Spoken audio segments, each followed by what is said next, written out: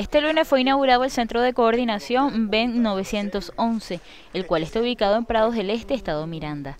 La información la dio a conocer el ministro del Poder Popular para las Relaciones Interiores, Justicia y Paz, Gustavo González López.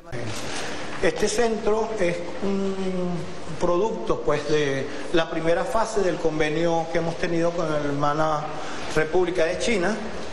Es uno de los cinco que estamos inaugurando esta semana y es aquí en la ciudad capital de las primeras seis estados de la primera fase, posteriormente la segunda fase ya aprobada, completa seis estados más, o sea que en este año tendremos listo la mitad del territorio nacional en esta, en esta modalidad de videoprotección.